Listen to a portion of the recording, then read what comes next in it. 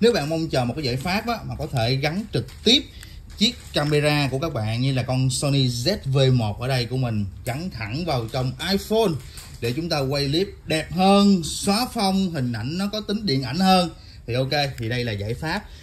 Mình vừa cắm trực tiếp con Sony ZV-1 lên trên con iPhone 11 Pro Max rất là cũ của mình rồi. Và các bạn thấy đây là sản phẩm chúng ta cầm ở ngoài rồi bây giờ chúng ta sẽ đưa vô bên trong cái camera của con ZV 1 nha. Đấy.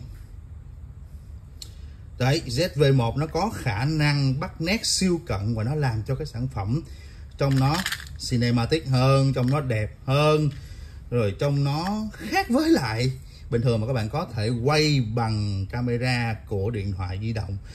Và các bạn hãy tưởng tượng là nếu mà với cái bộ giải pháp gọn nhẹ này, các bạn có thể quay, các bạn có thể livestream trực tiếp lên trên Facebook YouTube Instagram hay là TikTok thì nó rất là tuyệt vời. Nó không chỉ cho phép các bạn quay và ghi trực tiếp vào trong uh, camera của bạn mà nó còn cho phép các bạn like trực tiếp ngay lên trên Facebook với lại YouTube luôn. Còn con kia mày xích ra mèo. Cái cái này để quay chứ có phải để để ăn đâu. Đi ra đi. Đi ra. Oh,